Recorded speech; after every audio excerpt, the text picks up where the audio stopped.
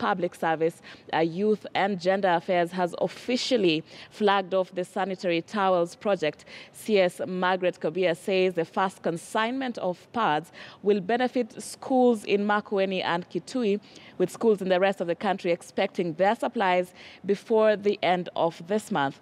This a day after the First Lady launched the menstrual health program management, seeking to keep girls in school.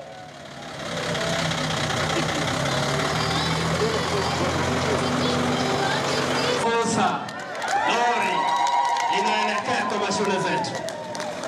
Kazi ya serikali iendelee kwa wanafunzi wetu, kazi iendelee, kazi iendelee.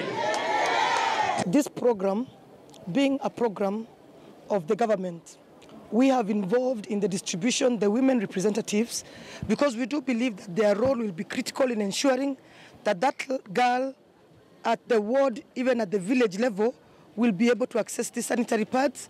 And therefore, we are working closely with the Women Reps Office and the County Commissioner's Office. The Ministry of Public Service, Youth and Gender Affairs is happy to flag out trucks that are going to deliver sanitary towels to the counties.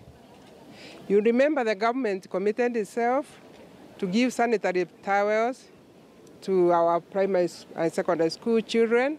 And I think that is a big step so that our girls can stay longer in school and they don't have to miss the four days during their period not being able to attend their classes.